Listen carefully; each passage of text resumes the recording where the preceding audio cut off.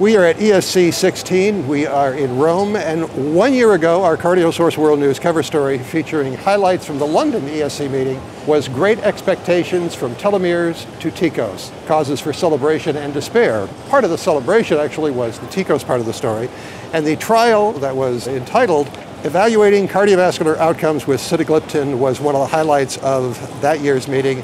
And for this cover story update, I'm really going to be standing here with Dr. Sam Engel, who is an Associate Vice President of Merck Clinical Research, Diabetes and Endocrinology. I remember that meeting for a very good reason because the online program afterwards, the highlights, they were a panel of experts and they were expressing great relief because there had been con some concern regarding heart failure. And TECOS kind of took care of that. And there was a lot of talk around the, around the panel saying this is really good news. So can you, before we go to this year's meeting, can we go visit last year's meeting and talk about that?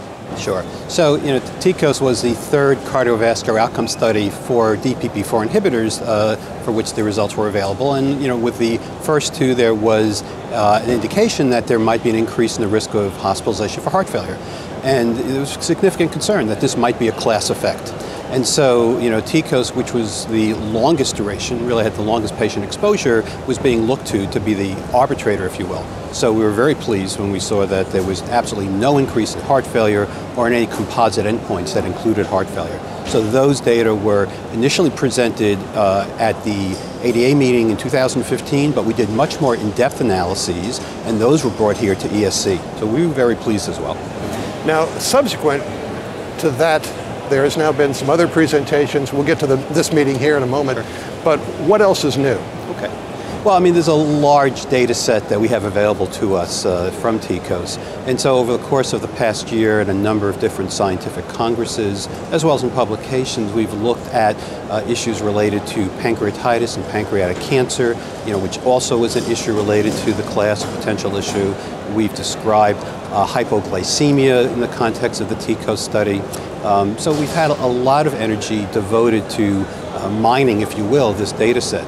In June at ADA, uh, we presented information related to patients with chronic kidney disease uh, and sitagliptin use.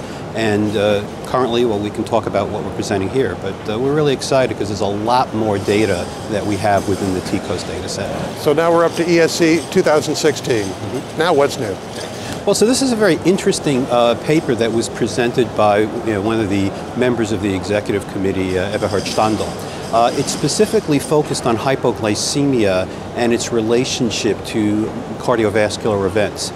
Now we're talking severe hypoglycemic events. That's right, severe hypoglycemia, because that's what we measured in TECOS. We collected severe events, you know, from patients, uh, from the investigators, and you know, there's always been a uh, belief that severe hypoglycemia was related to the occurrence of uh, major cardiovascular events, and a number of large uh, CV studies in diabetes have demonstrated this association.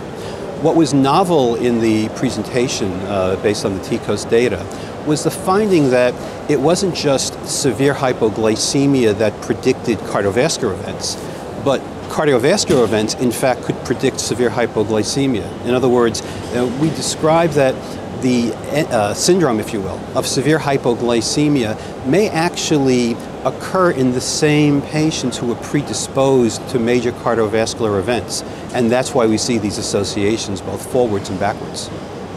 Are you really optimistic about what's going on? I mean, you've got some more studies that you're going to be producing. I mean, what questions now do you have left that you still want to answer? Well, I think, you know, some of our focus this year has really been on looking at subgroups within the TECOS population. Uh, you know, we have a large population of patients with chronic kidney disease, mm, over 20% of the population. And that represents about 20 to 25% of people with type 2 diabetes. Uh, we have a large population of patients who are taking insulin.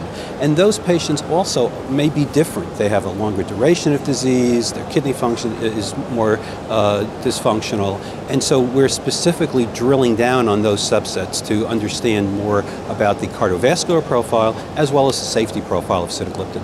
Well, thank you very much, because I do recall that, that cover story from last year, and so the, the fact that I could get a chance to talk to you this meeting right. made me very happy. And this was the October 2015 issue of CardioSource World News.